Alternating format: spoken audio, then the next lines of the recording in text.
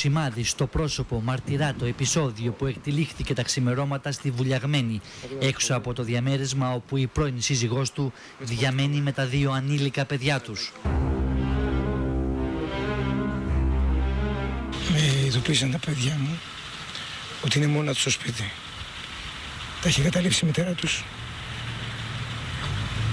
και κλαίνε. Γύρισα, δεν μου άνοιγε και εκεί βοηθός. Τι ώρα περίπου έγινε αυτό; Αυτό για πρώτη φορά έγινε τα δύο η ώρα. Περίμενα να δω τι ώρα θα γύρισε η πρώην σύζυγός μου. Γύρισε περίπου στις 6 παρατέταρτο. Με τη διαφορά ότι φαίνεται ότι είχε ενημερωθεί. Ότι εγώ είμαι εκεί, περιμένω. Όπως κατήγγειλε ο ποινικολόγος, η Εύη Βατίδου κατέφτασε στο διαμέρισμα από το νυχτερινό κέντρο που διασκέδαζε συνοδευόμενη από την παρέα της. Τον συνοδό τη, που είναι γιος μεγάλο επιχειρηματία, αλλά και με τους δύο σωματοφύλακέ του.